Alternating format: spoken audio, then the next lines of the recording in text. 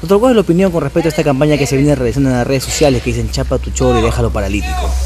Bueno, mi, mi opinión personal es que es un acto ilegal, arbitrario, ¿no? Eh, si bien es cierto, todos nos estemos afectados por el tema de la delincuencia a nivel nacional y local también, también es cierto que la, la Constitución, el artículo 1 señala que la persona es el fin supremo de la sociedad y del Estado y como tal tenemos que respetarlo. Más aún el Estado, siendo Estado, tiene que garantizar los derechos de una persona. Entonces ninguna persona, nadie, tiene por qué vulnerar ese tipo de derechos. Este, yo creo que hay un procedimiento que está estipulado en la norma procesal que señala en todo caso cuál es la sanción que se va a imponer a una persona.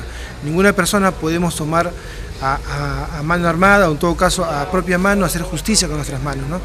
La ley del talión, diente por diente, ojo por ojo, ya ha sido ya este, desraizada y lo que estamos viviendo nosotros es un Estado social democrático de derecho, donde la Constitución y las normas tienen que imperar sobre la voluntad de la persona.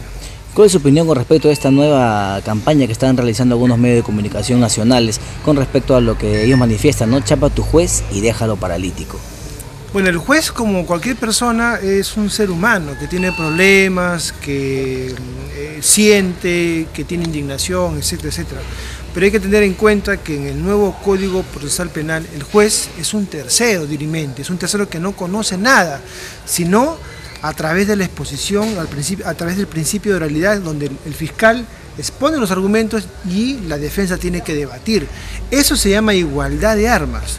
Si el fiscal ha sido negligente en el tema de en el acopio de la investigación preliminar o, contrario censo, la defensa ha sido deficiente, pues una de las partes va a tener que salir en todo caso vencedora y la otra perdedora.